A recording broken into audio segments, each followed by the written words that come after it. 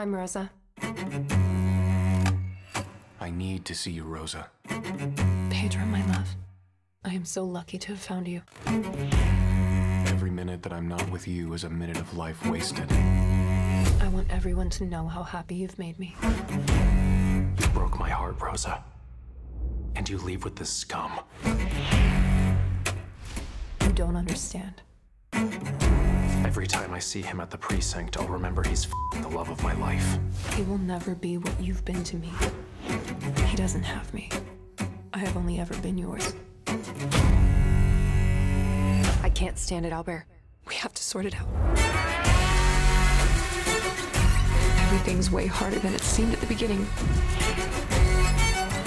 She asked me about you. Delete it all. I'd buy it. I'm devastated. I care of you. I used to think it was impossible, but not anymore. The impossible is only harder.